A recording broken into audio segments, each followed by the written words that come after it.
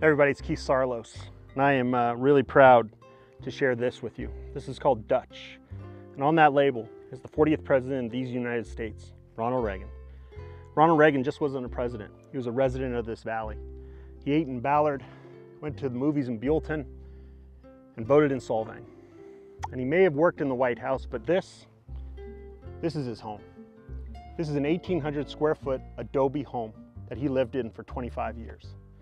He built this fence that's standing right behind me. He cut every one of these telephone poles. He set every post. He honored the past. He prepared for the future. When we were tapped to make this wine, we didn't think of it as a project. We thought of it as an absolute duty and honor. When I look at this bottle, I think of how far the Saarloos family has come. From failed apple farmers to growing grapes to making wine to one day holding a bottle with the President of the United States and our most famous resident upon it. But as you know, the Saarloos & Sons family is about two things. Our family creed says it all.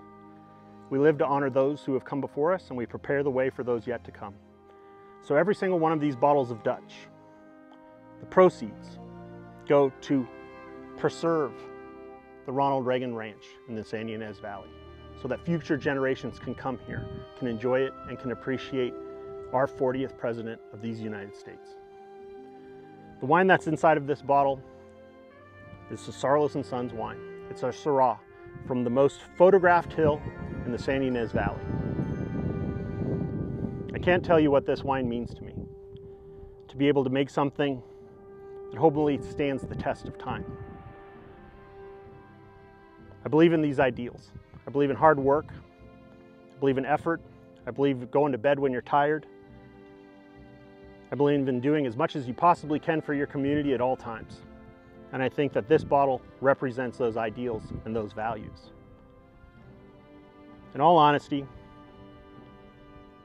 if I could have held one of these bottles and put it in my father's hands and he could see his last name on this bottle, he would have lost his mind.